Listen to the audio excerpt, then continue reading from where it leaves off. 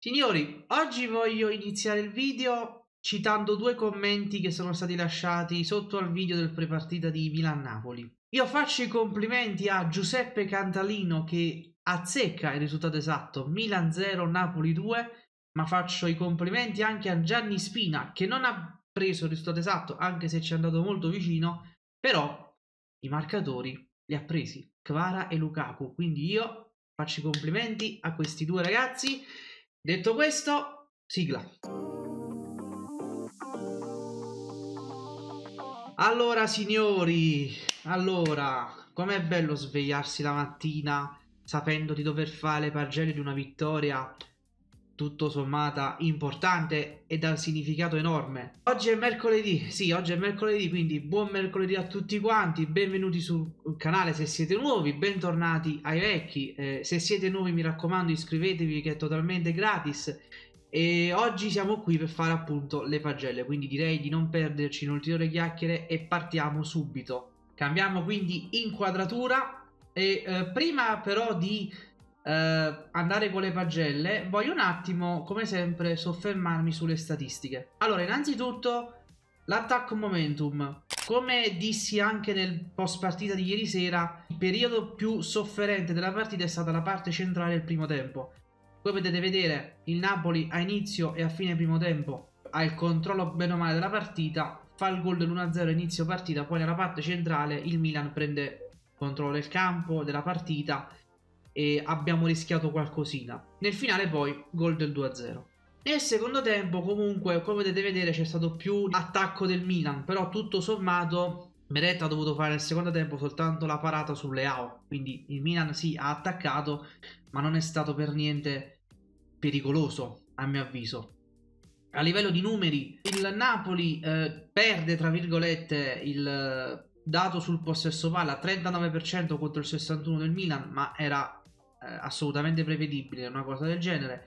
A livello di XG, il Napoli fa eh, meno tiri rispetto al Milan, 9 contro 13, però a livello di XG è più pericoloso, 1.13 contro il 0.69 del Milan. A livello di posizioni medie, come potete ben vedere nel primo tempo, il Napoli si è schierato con un blocco diciamo medio.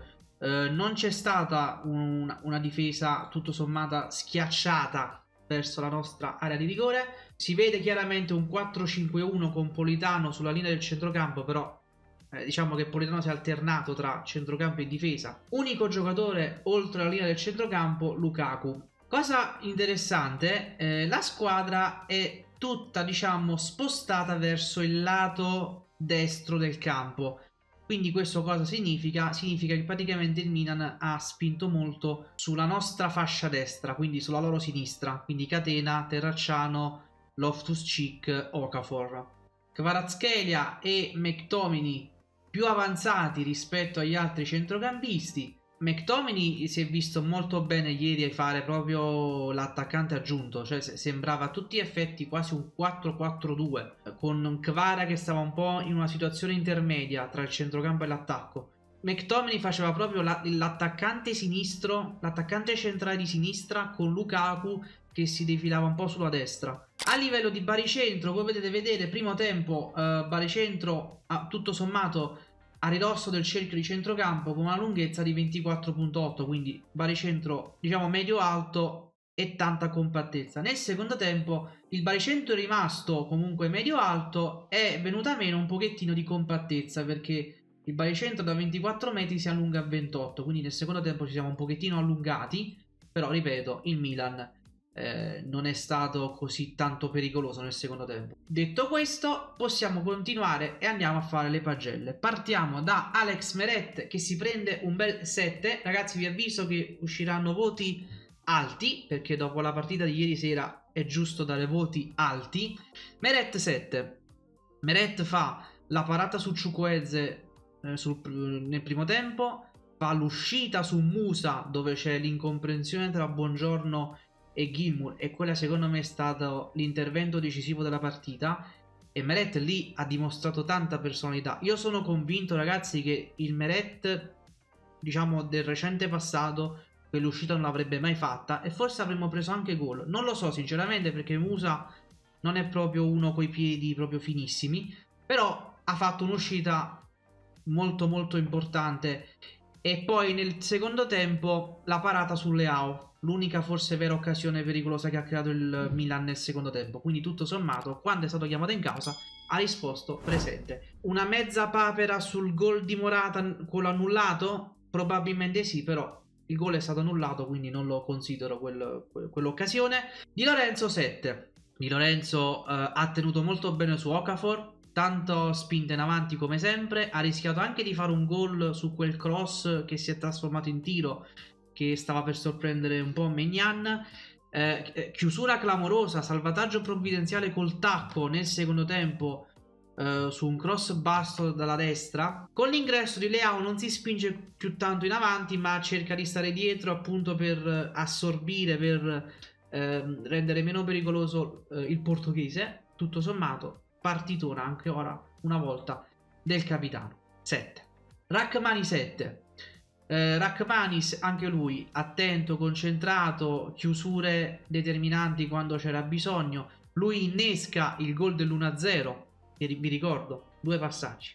Come sempre una certezza in fase di impostazione ancora una volta quasi il 100% di precisione sia sui passaggi corti che su quelli lunghi io voglio sempre ribadire una cosa, ragazzi, Rachmani non è un difensore top, non è un fuoriclasse, non è un difensore che secondo me giocherebbe nei top club europei, però quando gli metti vicino un difensore più forte, si vede che lui migliora molto il rendimento. Quando c'era Koulibaly, bene. Quando c'era Kim, benissimo. Ora che c'è Buongiorno, benissimo. Buongiorno, anche lui 7. Sarebbe stato un 7,5 perché comunque lui ha fatto più chiusure, più salvataggi, più intercettazioni rispetto a Rachmani. Però quella, quell'incomprensione che c'è stata con Gilmo nel primo tempo gli fa perdere mezzo punto perché rischiava di essere un'occasione clamorosa per l'avversario. E io qui voglio un attimo soffermarmi perché voglio analizzare insieme a voi cosa è successo. Allora, siamo al 26esimo, buongiorno al pallone. Qui abbiamo Gilmour. Allora, cosa poteva fare Buongiorno in questo caso? Poteva magari fare un lancio lungo sulla fascia sinistra? Sarebbe stato forse rischioso. Poteva passarla ad Anghissà? Forse sì, forse no Poteva magari fare un cambio gioco e andare su Di Lorenzo? Ipotesi probabile. Poteva fare un lancio verso Politano? Potrebbe. Oppure molto più banalmente poteva scaricarla all'indietro per Merette che magari poteva fare il rinvio su Lukaku. C'erano secondo me varie opzioni per Buongiorno, qualcuno un po' più difficile, qualcuno un po' più facile. Alla fine decide di andare su Gilmour, però fa un passaggio diciamo in questa direzione, mentre Gilmour si sta spostando in avanti. Quindi non è un passaggio che segue il movimento di Gilmour. Quindi Buongiorno fa un passaggio che va in opposizione al movimento che fa Gilmour. Quindi secondo me qui è più errore di Buongiorno che errore di Gilmour. Gilmour poi eh, non può fare niente lì secondo me perché comunque stava, facendo, stava andando avanti, poi è anche scivolato, c'è stato il patatrack, però ripeto, Meret fa l'uscita su Musa e quindi veniamo salvati da Meret. Ragazzi, io ad Olivera devo dare l'8. Devo dare l'8 perché con Conte sta avendo una crescita clamorosa.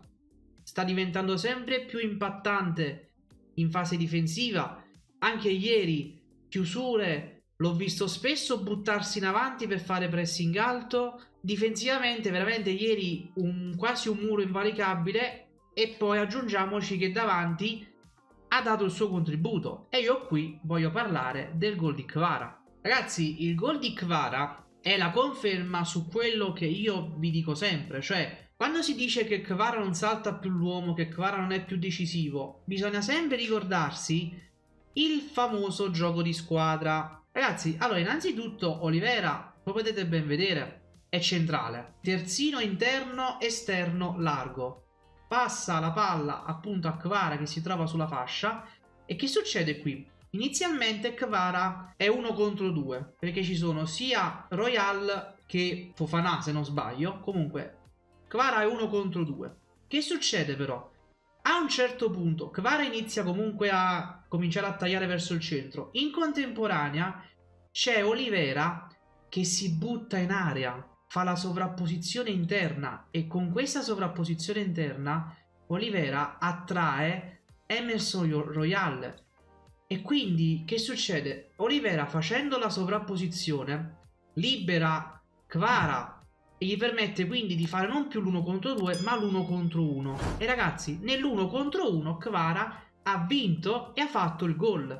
Cioè il gol di Kvara è quello che io vi sto dicendo da sempre. Cioè Kvara se viene lasciato solo contro 2 contro 3 è normale che non rende Ieri sera c'è stato l'aiuto del terzino che facendo il movimento dentro l'area ha liberato un uomo a Kvara che non ha fatto più l'uno contro due ma l'uno contro uno. Do l'otto a Olivera anche per come ha contribuito al gol di Kvara. Quindi quando si dice Kvara non rende, ricordatevi sempre che il calcio è comunque uno sport di squadra e al gol ci si arriva appunto grazie allo, al gioco di squadra e qui si è visto il gioco di squadra. Olivera fa il movimento interno e libera Kvara dalla doppia marcatura perché Royale si vede chiaramente, si stacca da Kvara e va a diciamo eh, mettere una pezza su Olivera che si era buttato dentro e quindi non c'è più l'uno contro due ma l'uno contro uno. Quindi ottimo qui Olivera.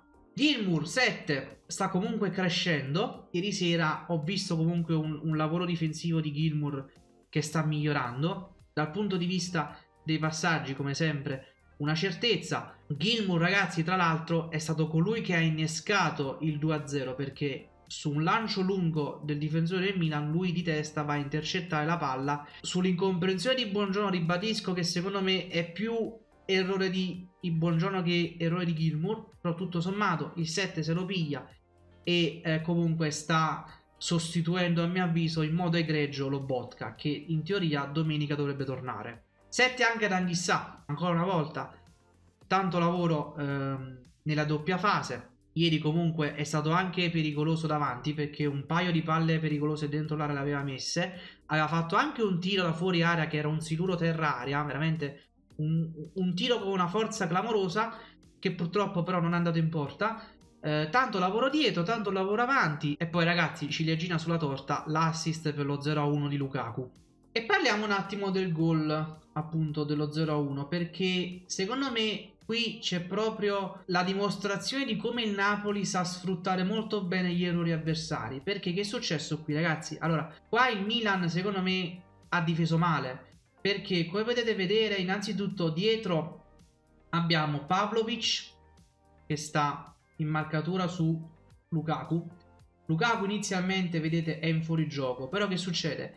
La difesa del Milan, la linea va avanti, quindi fa il fuorigioco, si spinge in avanti. Pavlovic invece rimane un po' fermo e successivamente si abbassa, quindi va, va ad annullare la linea di difesa alta del Milan e quindi annulla il fuorigioco su Lukaku che rientra appunto in gioco. Secondo errore, secondo me, lo fanno due giocatori del Milan.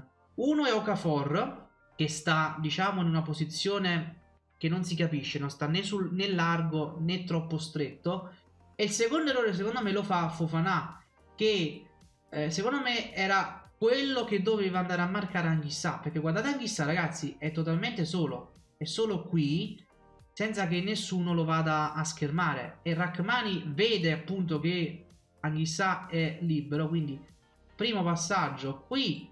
Nel mentre c'è il discorso di Pavlovic che quindi rimette in gioco Lukaku. Anghissà vede comunque questo spazio per Lukaku, perché comunque la marcatura su Lukaku non era così stretta.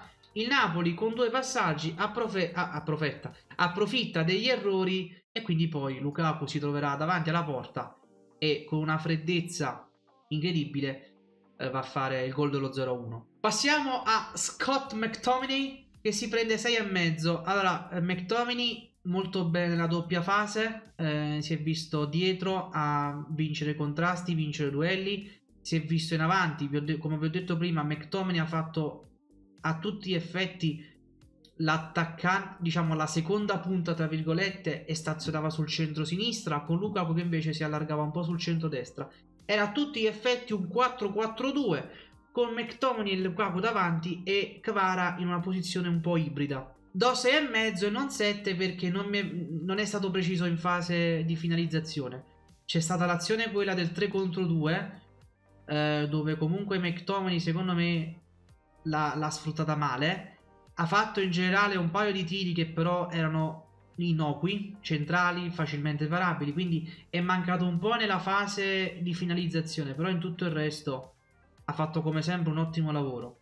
Politano 6,5. Politano eh, tanto lavoro come sempre di sacrificio dietro. Politano ieri si è visto molto bene ballare tra il terzino della difesa a 5 e l'esterno di centrocampo a 5. Da segnalare comunque che l'azione del 3 contro 2 di Kvara, McTominay e Lukaku la innesca Politano perché fa questo, uh, questo passaggio alto per Lukaku che poi fa la sponda uh, di testa per Kvara e poi c'è il 3 contro 2. Sta facendo molto più lavoro dietro che davanti e quindi 6 e mezzo.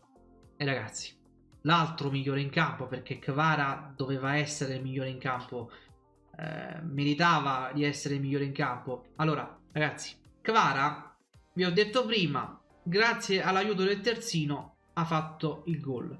I campioni fanno questo, i campioni hanno un'occasione e la sfruttano bene. Kvara a San Siro lo scorso anno, ma soprattutto due anni fa, ce lo ricordiamo, specialmente in quell'andata dei quarti di finale contro il Milan in Champions, subito a inizio partita, che lui non segna. Kvara, sotto questo punto di vista, ha fatto lo step in avanti. E a tutti quelli che lo criticano, dico sempre la stessa cosa. Pregate, pregate tantissimo affinché rimanga qui il più possibile, perché Kvara è un giocatore da Real Madrid, da Manchester City, da Bayern, da Barcellona e se rimane qui pure l'anno prossimo è già un miracolo. Non perdete tempo a criticarlo dove non è colpa sua, perché se contro la Juve non ha potuto fare niente è perché avevamo un atteggiamento di squadra ultra difensivo e non aveva dalla sua parte né l'aiuto di Olivera né l'aiuto di McTominay. Eh, io ve lo voglio sempre ricordare perché Kvara contro la Juve giocava da solo contro tre difensori della Juve. Ieri Olivera l'ha aiutato. E qui la differenza. Andatevi a rivedere le partite dello scudetto. Kvara veniva sempre aiutato dal terzino, dalla mezzala e dall'altra mezzala che veniva sul suo lato per fare densità. Kvara è l'ultimo che va criticato. L'ultimo, e ve lo ribadisco, pregate la Madonna se, affinché resti anche l'anno prossimo, perché Kvara è l'unico fuori classe che noi abbiamo in squadra. E ha 22-23 anni, se ricordo bene. Quindi può ancora migliorare. Detto questo, gol, ma non contento, fa anche due potenziali assist, uno per Lukaku e uno per McTominay nell'azione del 3 contro 2. Quindi davanti è stato decisivo sia con i gol che con gli assist. Poi gli assist non sono stati sfruttati, però li ha messi. Dietro un lavoro difensivo coi fiocchi, è tornato tantissime volte dietro a dare manforte all'Olivera, a fare raddoppi su Okafor. L'unica cosa che mi viene da dire è sempre su quell'azione che ha portato al gol di Morata che poi viene annullato. Lì Cavara secondo me è stato troppo morbido col pressing su Okafor perché lo, las- lo ha lasciato... No, su Queze, scusate, era su Queze è stato troppo morbido sul pressing perché Chukwueze si è potuto sistemare il pallone e mettere il cross con una, con una calma che secondo me non gli doveva essere concessa quindi l'unica, l'unica pecca secondo me della partita è stata quella poi per il resto lavoro incommiabile dietro e davanti è stato decisivo e i campioni, ve lo ripeto, hanno un'occasione e fanno gol. E Cavaro l'ha fatto. 8 e il premio di Man of the Match che gli, ieri, che gli è stato dato ieri è meritatissimo. Lukaku 7,5. Lukaku ieri è stato servito bene, innanzitutto. Ha vinto tanti uh, duelli, tanti uh, scontri fisici con Pavlovic e con Ciao. Sponde per i compagni. Uh, il gol con una freddezza unica. Ieri Lukaku è stato impattante. Sicuramente ha aiutato anche l'atteggiamento difensivo del Milan perché con le squadre comunque che giocano alto Lukaku può essere più pericoloso perché comunque n- non attacca la profondità come Osimen, ok? Perché quello è impossibile, però lo fa, specialmente quando è in linea con i difensori. Questo lo ripeterò all'infinito. Subentrati, Mazzocchi 6 è entrato bene. Conte secondo me ha fatto un cambio intelligente con Mazzocchi perché era entrato Leao e Politano era stanco Quindi Conte che ha detto metto Mazzocchi che dà una mano a Di Lorenzo, quindi ho due diciamo giocatori difensivi su Leao che dovrebbe quindi fare poca roba. Leao tutto sommato ha fatto solo un tiro pericoloso, poi per il resto è stato schermato bene sia da Mazzocchi che da Di Lorenzo, quindi il 6 io lo voglio dare perché comunque è entrato al settantesimo, però in quei 20 minuti ha fatto un lavoro difensivo buono su, su Leao, grazie anche all'aiuto di Di Lorenzo. Uh, Neres 6,5, due passaggi chiave in 13 minuti, quindi dal punto di vista offensivo, in quel poco tempo che ha giocato, ha uh, creato pericoli. Poi Simeone 6, perché comunque è entrato con un piglio come sempre eh, è encomiabile, si è preso dei falli, dei duelli aerei li ha vinti, qualche incontrasto, quindi ha fatto una partita dal punto di vista difensivo buono, quindi se io lo voglio dare. Foloruncio e Zerbin per forza di cose do il senza voto perché sono entrati proprio nei, negli ultimissimi minuti. E infine ragazzi Conte 7,5 perché comunque, come ho detto anche nel post partita di ieri sera, ho avuto delle risposte. Io a Conte chiedevo un po' più di coraggio e il coraggio l'ho visto, specialmente nella prima parte del primo tempo e nella parte finale del primo tempo. La parte centrale un pochino di paura in Conte l'ho vista perché, perché, comunque si sentiva anche da Dazon che Conte voleva che gli attaccanti si schiacciassero all'indietro un pochettino di paura lì si è, si è vista però poi 2-0 tu ti aspetti che il Napoli entri nel secondo tempo per fare difesa oltranza e contropiede invece no il Napoli ha continuato e si è rischiato anche di fare il 3-0. Quindi ho visto il coraggio che chiedevo da Conte. I cambi sono stati ancora una volta intelligenti. Allora, Conte con i cambi ormai è sgamato perché ormai ho capito come ragiona. Mette Mazzocchi al posto di Politano, Polonuncio nei minuti finali per dare un po' più di difesa, eh, Simeone al posto di Lukaku, Neres e il vice Kvara, quindi le gerarchie dal punto di vista delle sostituzioni ormai si sono capite, però le tempistiche con cui fa questi cambi sono molto intelligenti. Ribadisco il cambio di Mazzocchi dopo che è entrato Leao, per me è stato molto intelligente. La partita l'ha eh, studiata bene, l'ha condotta bene, l'atteggiamento è stato fin dal primo momento eh, positivo e coraggioso. I cambi sono stati buoni.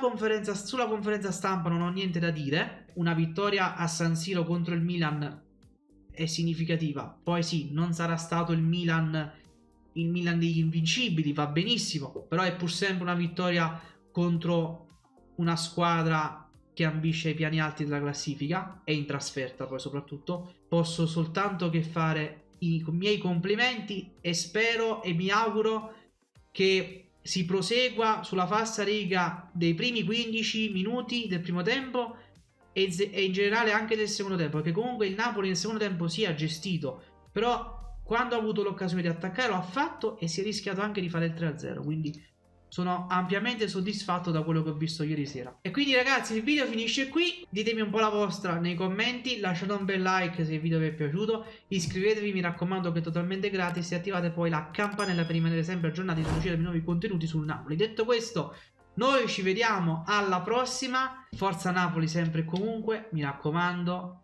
state tutti molto calmi piedi per terra. Domenica adesso c'è l'Atalanta, che secondo me sarà molto più difficile rispetto al Milan. È ancora presto per fare certi discorsi, però ieri sera il Napoli comunque un segnale forte lo ha dato.